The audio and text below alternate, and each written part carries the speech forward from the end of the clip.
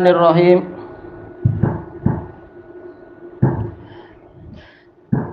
Qala fadilatu Syekh Abdullah Alu Basam rahimahullahu taala wa qad taqaddama anna raddan nususi sahihah bi da'wa mukhalafatiha lil usul da'wa batilah dan telah berlalu penyebutannya pembahasannya bahwasanya menolak nas-nas yang sahih dengan alasan dengan dakwaan bahwasanya nas itu menyelisihi prinsip-prinsip atau dasar-dasar hukum Islam itu adalah dakwah yang batilah. Dan ini sering dilakukan aklaniun dan juga apa? Sering dilakukan oleh ra'iyun. Aklaniun dari kalangan orang-orang mu'tazilah. Ra'iyun itu dari kalangan pengikut Abu Hanifah. Sering itu terjadi. Makanya Imam Bukhari di dalam sahih beliau sering beliau membantah orang-orang pengikutnya Abu Hanifah. Qalal qaum qalal qaum kata para ulama sering kali yang dimaksudkan qalal qaum adalah Abu Hanifah dan pengikutnya. Baik. Demikian pula seperti siapa? Uh, Imam Ibnu uh, Ibnu Ibnu Abi Syaibah dalam musannaf beliau ada bab khusus Ar-Raddu ala Abi Hanifah karena masalah-masalah ini. Karena Abu Hanifah sering membantah hadis-hadis sahih dengan alasan oh ini tak mungkin sahih padahal sananya sahih. Dengan alasan apa? Oh ini tak sesuai kias, tak sesuai dengan prinsip agama Islam seakan-akan dia lebih tahu daripada Rasulullah. Sementara sanadnya sahih. Dan dia bukan orang yang pakar hadis untuk menilai hadis ini sahih atau doif Taib. makanya Imam Ahmad mengatakan apa? Kalau Imam Syafi'i hadisun sahih ra'yun sahih. Walaupun apa? Bukan maksum dan bertingkat-tingkat tapi Imam Imam Syafi'i itu polanya pola yang ini. Hadisnya sahih dan rasio beliau sahih. Dan beliau sering membantah Abu Hanifah. Membantah pendapat Abu Hanifah Adapun kalau Imam Malik, maka Imam Ahmad mengatakan apa? Hadisun sahih ra'yun dhaif. Walaupun jelas apa Imam Malik banyak bagusnya tapi polanya sering kali pola yang seperti ini. Hadisnya sahih tapi ketika masuk ke ra'yu beliau kurang kuat. Adapun yang satunya lagi kata para ulama yang dimaksudkan Imam Ahmad adalah Abu Hanifah. Adapun si fulan dia ra'yun dhaif, hadisun dhaif, yaitu apa? Abu Hanifah. Ra'yunya lemah, karena tidak didukung dengan dalil dan hadisnya sendiri lemah karena memang dia lemah hafalannya. Baik, tapi ini telah berlalu cuma memang sampai sekarang itu mempengaruhi e, memberikan kesan kepada fikih sehingga sering apa Abu Hanifah dibantah sebagaimana dibantah panjang lebar oleh Imam Ibnul Qayyim dalam I'lamul Muwaqqi'in. Bantahan kepada para ahnaf yang sering membantah hadis yang sahih dengan alasan ini khilaful asal katanya. Tayyib. Li'annal hadisa huwal aslu fil ahkam. Karena hadis itulah yang menjadi dasar dalam hukum. Tayyib. Jadi dari mana kita membangun hukum? Yaitu dari Al-Quran dan hadis. Bagaimana hadis justru dihakimi, hadis tak sesuai dengan hukum. Anda yang lebih tahu atau Rasulullah yang lebih tahu. Kalau hadisnya sahih, maka itulah madhab yang betul.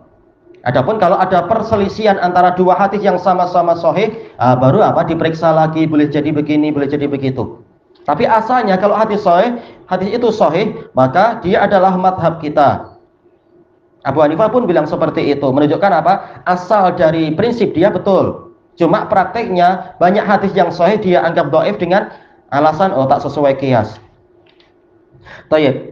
Fakaifa yumkinu li ahadin yu'azzimu nabiyahu sallallahu alaihi wasallam an yubiha li nafsihi radda kalamihi li aslin yadda'i. Maka bagaimana mungkin bagi seseorang yang mengagungkan nabinya sallallahu alaihi wasallam lalu dia memperbolehkan dirinya sendiri menolak sabda nabi dengan suatu prinsip yang dia dakwakan. Ini sama sekali tidak layak yang seperti itu. Dan dalil-dalil ma'ruf di dalam kitab-kitab akidah menentang hadis banyak menentang ayat banyak sekali orang yang melakukan seperti itu. Mengaku mengagungkan nabi tapi kalau hadis sahih tahu-tahu ditolak dengan alasan ini dan itu berarti hakikatnya dia tidak mengagungkan nabi tidak mencintai nabi dan seterusnya. Wa amaluhu wa amalu khulafaihi min ini masalah apa itu Musakoh dan muzaroah ini adalah amalan Nabi dan amalan para khulafaur rasyidin sepeninggal beliau. Baik. Lalu siapa Anda sehingga Anda datang di masa-masa setelah itu lalu membantah apa yang dilakukan oleh Nabi dan ijma para sahabat. Kalau sekarang kita dikatakan siapakah engkau dibandingkan dengan Imam Abu Hanifah atau Imam Syafi'i atau siapa? Tayyib, kalau kenyataannya mereka menyelisihi hadis yang telah sahih, dalil yang telah jelas, kita akan bertanya dengan pola yang seperti itu. Siapa beliau dibandingkan dengan Nabi? Sementara kita kita ikut Nabi, kita bukan memakai rokyu untuk menentang rokyu Imam Syafi'i atau Imam Abu Hanifah atau imam-imam yang lain. Kita ikut Nabi. Kita mengaku Nabi Muhammad sebagai Nabi kita. Maka bagaimana prakteknya kalau ternyata hadis yang nyata-nyata jelas justru dikatakan oh, ikut imam ini aja, jangan ikut Nabi. Katanya mengatakan Muhammadur Rasulullah. Lalu mereka mengatakan para ulama lebih tahu tentang hadis itu daripada Anda. Kita katakan demikianlah asalnya. Ulama lebih tahu tentang hadis, tentang isi hadis daripada yang bukan ulama. Itu kalau ulama ijma, maka kita haram menyelisihi ulama. Tapi kalau para ulama sendiri berselisih pendapat, kita ikut yang mana? Karena dua-duanya ulama. Berarti apa? Kita lihat siapa yang lebih dekat dengan wahyu. Itulah yang wajib dilakukan ketika ada khilaf bukan fanatik ke satu ulama tertentu. Karena tidak ada yang maksum setelah Nabi. Kemudian kata beliau di sini walam yungsah dan masalah tadi masalah mukhabarah, masalah musafah dan muzaraah ini tidak dimansuhkan. Walam yughayyar hukmullahi fih dan hukum Allah tidak dirubah tentang masalah itu. Ya kalau dirubah Coba kita tanya mana dalil yang merubah? Tak ada kecuali sekitar rasional-rasional saja.